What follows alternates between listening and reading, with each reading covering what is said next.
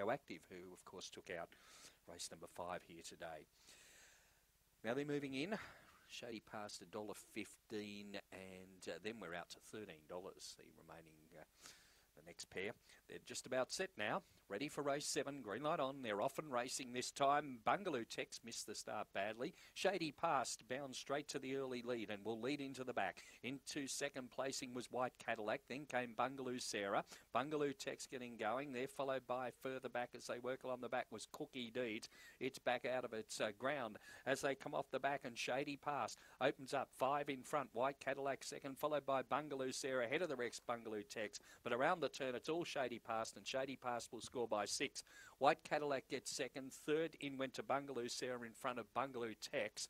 Uh, then in behind them to uh, pull up would have been Alpaca Delilah, Cookie Deeds, Never a Chance, and Eilish well back in the bunch as well. Stand by for placings. Race number seven, 29 and 70 odd the time here. Sections of 448 and 1706. And an easy win to our uh, favourite here, number four, Shady Pass for trainer Robert Halliday. Shady Pass clocking that uh, journey in 29 and 74. 481 the placings. White Cadillac gets second. Bungaloo Sarah third. And number two, Bungaloo Tex, which uh, certainly missed the start quite badly and uh, has quickly mustered pace and run up and uh, managed fourth in the event.